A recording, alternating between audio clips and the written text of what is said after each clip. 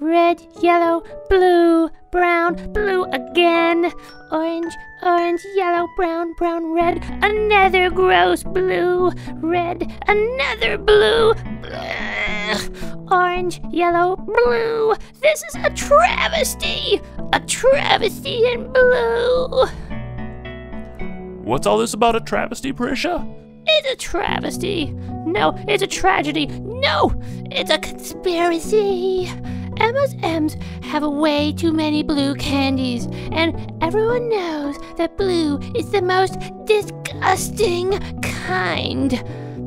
Prisha, they all taste the same. You eat with your eyes. Everyone knows that, Dad. I suppose you're right, but in any case, I don't think there's more blue candies than any other color. I think you just take more notice of the blue kind because you dislike them so much. No, Dad. I've been very scientific about this. I've kept a record of the last 25 bags of Emma's M's and whether or not blue was the most common color in the pack. Well, Dad, what does this tell you? That we let you eat way too much candy. No, Dad, the 12 out of the 25 bags have blue as the most common color. Hmm. Well, that could just happen by chance. If you ate another 25 bags, maybe 12 of them would have some other color as the most common.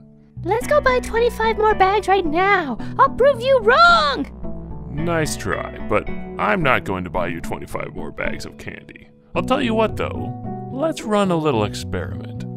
If each color is equally common, as I suspect is the case, then the most common color in a bag will be equally likely to be any one of the six colors blue, brown, green, orange, red, or yellow.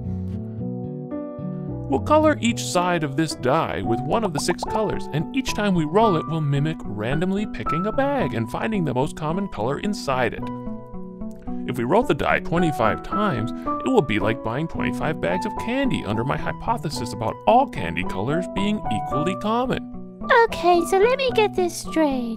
We're going to roll the die 25 times and see if we get 12 or more of one color. Yes, and we'll repeat the entire experiment of rolling the die 25 times, many times, so we can see how often we have 12 or more of one color out of 25 rolls. Let's do it 10,000 times. Uh, that's quite a lot. Science! Um, okay, Prisha, let's get rolling.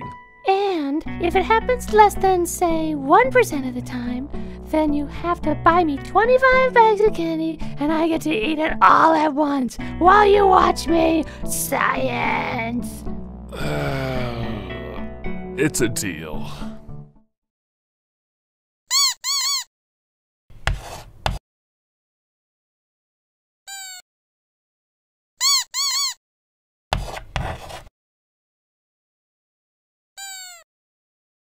We should use a computer for this. Agreed.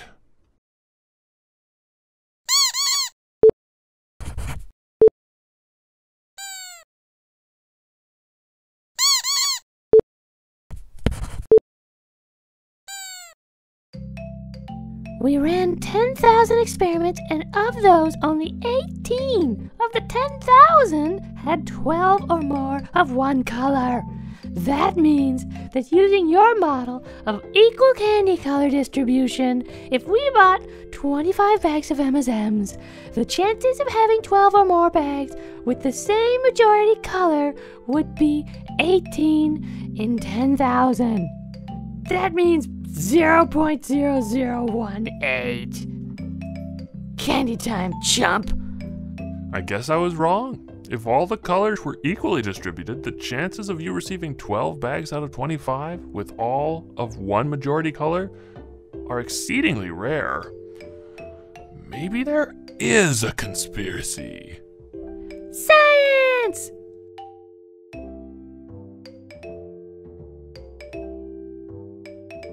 Ooh. Ooh. Ooh.